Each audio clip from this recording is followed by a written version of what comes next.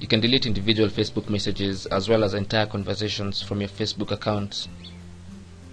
Go to Facebook and sign into your account.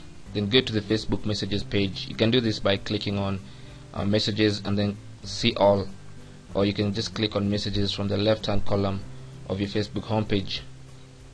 Whichever way you land to your Facebook messages page.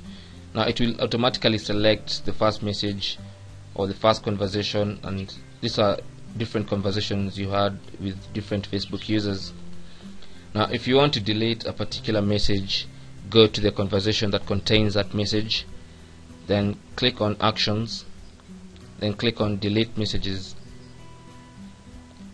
you should now see checkboxes next to individual messages in that conversation so you can select the messages you want to delete if it's one or two or even three and then click on delete and confirm that you want to delete those messages and they'll be deleted from the conversation. If you want to delete an entire conversation you can simply select that conversation then go to actions and then select delete conversation.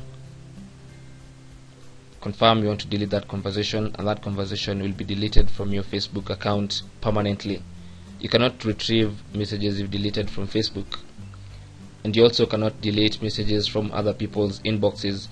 If you had sent messages and you delete them from your account they'll only disappear from your account but they cannot disappear from uh, the person you sent them to.